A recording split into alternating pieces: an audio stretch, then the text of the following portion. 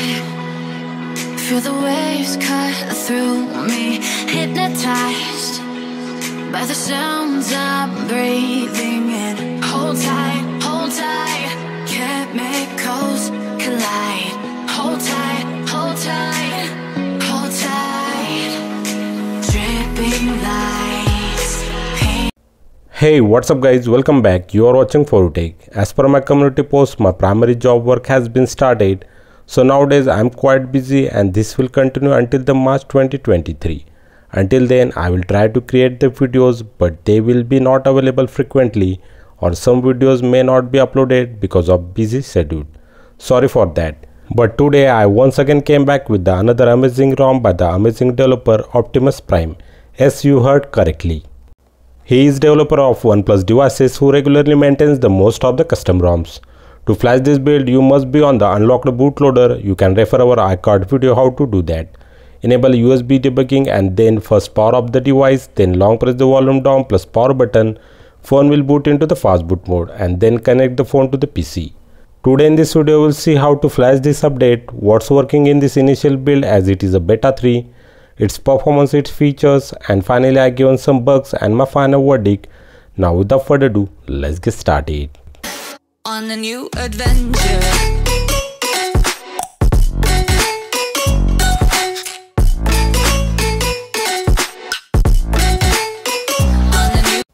So you need to download these files boot image, vendor boot image and the full ROM zip file. Place it in any folder on the desktop or inside the platform tools folder of your PC. Then long press the shift plus right click of your mouse and then select the open command prompt here from the drop down menu. Now type the fastboot devices to check device is connected properly or not. Now type fastboot flash boot boot.img. Once flashing gets successfully completed, type next command fastboot flash vendor underscore boot vendor underscore boot.img. All these commands are given under the video description. Now type the command fastboot reboot recovery. Phone will boots to this recovery screen. Now by using the volume up and down buttons, select the factory reset option and then press the power button to confirm. Once format gets completed, now go back to the main screen of recovery by selecting the top back arrow key. On the home screen, select the apply update. Now choose the apply from the ADB. Now again move to your CMD screen on the PC, type ADB sideload and drag the full ROM zip file in the CMD window to select its location and hit enter. You will see the flashing process is started showing the progress bar. Once it gets completed to 100%, take the phone in your hand and select reboot to the system. That's it, phone started to the boot into the new RiceDroid build with the same Pixel as Friends boot animation. As you done the clean flashing, go through the full setup process and finally you booted to the RiceDroid launcher. Let's jump to the about phone to check the details of the new ROM. Here you can see this is the complete overall of new stock setting. In the about phone, you can see this is the Rice UI 3.0. RiceDroid version is 7.5 with the Lineage OS Easter egg as this ROM is based on the Lineage OS sources.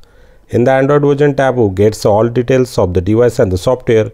So this ROM is based on the Android 13 with its new Google Clock egg. Security patch is of latest October 2022. Build date is of 13th October 2022. Kernel version is 5.4.147.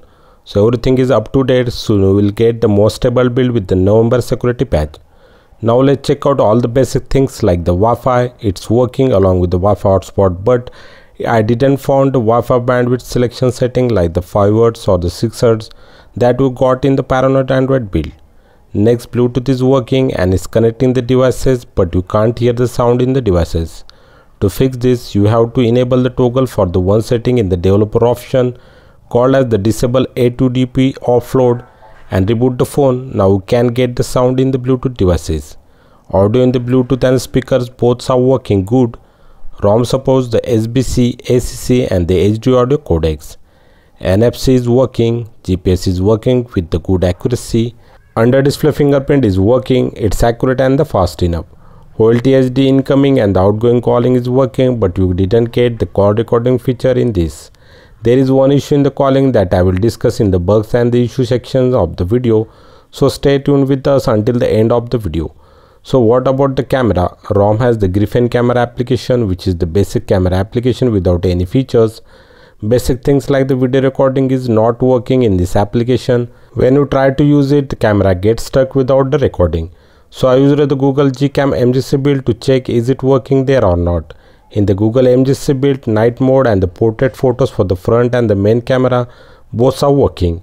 In the video recording, slow motion is not working, but the time-lapse videos are working good.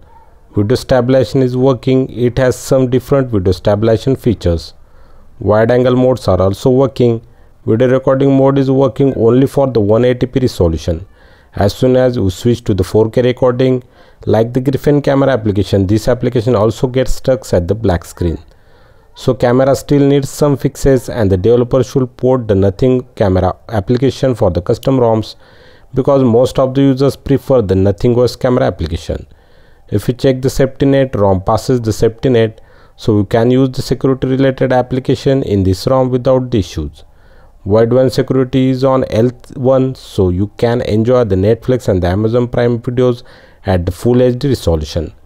ROM storage is encrypted so no worry about the data stealing after device got stolen. Google photo camera application has the unlimited photo backup working. All the sensors like the accelerometer, light, proximity, magnetometer, compass, gyroscope all are working well. Other things like the light sensor, loudspeaker, touch are working but some things like the mic and the ear speaker has some issues that we will discuss later. So most of the things are working but some flaws are there as this is the beta 3 build of the ROM. These bugs and issues I will discuss in the bugs and issue section of the video. Now let's check out the performance of the new ROM. ROM is super smooth. It has the 60, 90, 120 Hz option as per your need apps opening, closing, app switching, RAM management, all the things are absolutely stunning. For the CPU performance in the Geekbench, I got the score of 726 on the single core and for the multi-core I got the score of 2883. On the OpenGL drivers I got the score of 2204 and for the Vulkan graphics score is 2384. All these scores are very good and they are almost similar to the last custom ROM that we reviewed called as the Paranoid Android. Now we will see the only some important customization features that we gets in the ROM. There is a personalization setting available in the main setting of the ROM in that all the custom features are well arranged. In the miscellaneous setting we get some smart pixel tab which help us to switch off the screen pixel. It has some setting percentage of screen pixel to be disabled which has 88, 75, 62 etc percentage options. Don't use the settings above 62%, keep it always below that level. This will extremely useful in the emergency battery level when the phone is going to switch off. It almost doubles the battery performance. It has the auto enable and the burn-in protection also. Similar to the performance mode, there is system boost toggle which help us to improve the performance of the ROM. There is a weather setting at the bottom which displays the weather data on the home screen, lock screen and on the quick setting panel.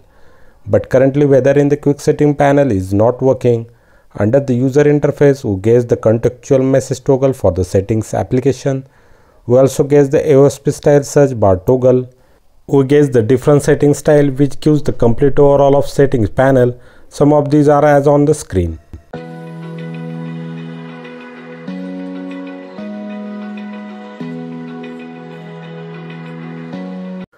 Under settings and in the system button setting, we get the taskbar option. This will enable the permanent app dock at the bottom of the screen or in any of the application.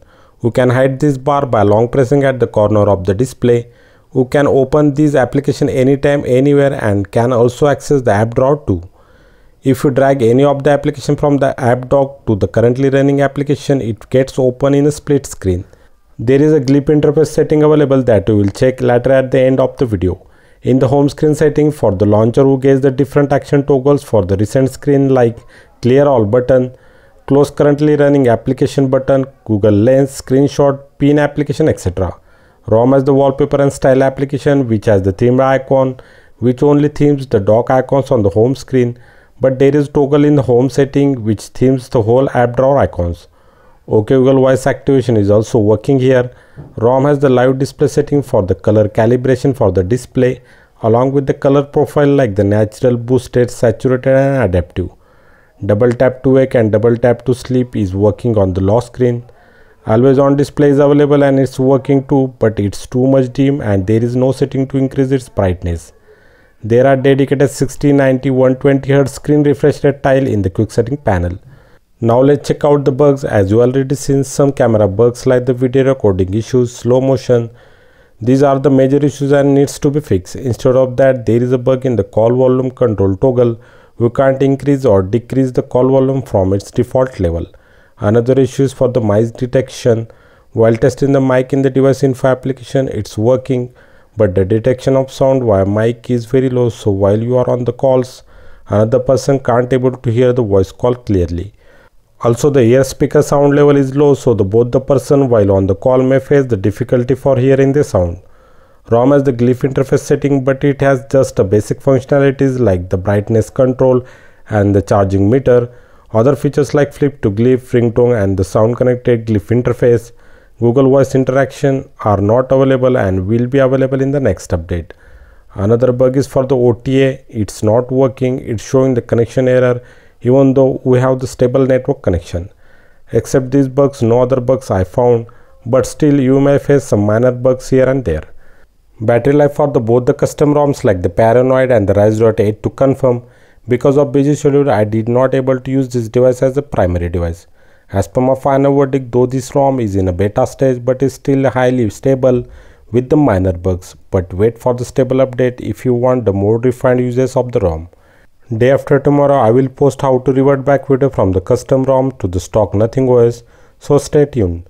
For now if I help you then please do like and share this video, subscribe our channel, press the bell icon for the notification of our upcoming content. Thanks for watching, see you next time, take care, bye bye.